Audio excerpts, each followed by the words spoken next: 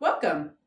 This week's lab experience will use an interesting property of solutions to determine the molecular weight of a solid sample. Let's make sure we can recognize a solution.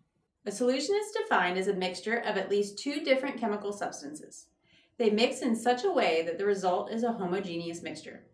A homogeneous mixture is one where you only observe one phase and the macroscopic properties are the same regardless of how much of the solution you have. You might think that a solution has to be a liquid, but that's not always the case. The chemist considers a mixture of gases a solution.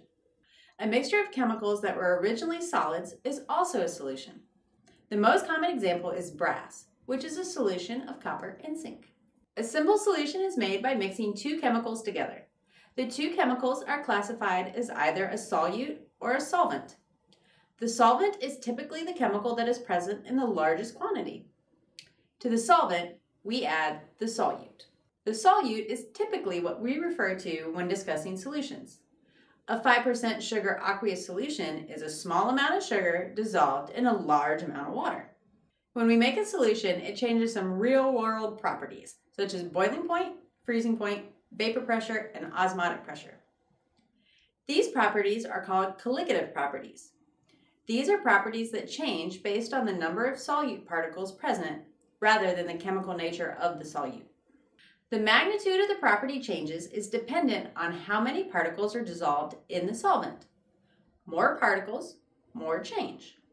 The key to the change is the statement more particles. Particles here can mean atoms, molecules, or ions. So, it is useful to consider what you know about how solutes dissolve in the solvent. When a molecular compound dissolves in a solvent, it is expected that the molecule doesn't dissociate. So you would say that you get one particle per molecule. When a salt, like sodium chloride, is dissolved in a liquid, like water, we know that the salt is a strong electrolyte and it will completely dissociate at low concentrations. Thus, if you have a 1 molar solution of sodium chloride, you really have a 2 molar solution of particles. The colligative property we are working with this week is freezing point depression. When you prepare a solution, the freezing point of the solution will be lower than the freezing point of the solvent. So, for example, pure water freezes at 0 degrees Celsius but a saltwater solution might freeze at negative 3 or negative 5 or even lower depending on how much salt and what type of salt you have dissolved in the water. The relationship that shows how much the freezing point will change is represented by this equation, where the delta T means the change in the freezing point temperature, the I is the number of particles expected, Kf is the freezing point constant of the solvent, and the lowercase m is the molality. Molality is similar to molarity, but it is different. It is important to note these differences. Molality is defined as moles of solute per kilogram of solvent. Moles of solute is still calculated by dividing the mass of the solute by its molar mass, so it can also be written as Combining the molality equation written this way with the freezing point depression equation is our avenue to use a colligative property to determine the molar mass of a solid. We can measure both the masses of the solute and the solvent, as well as the temperature, which helps us determine how the colligative property in this lab, the freezing point depression, changes, and then we can calculate the molar mass.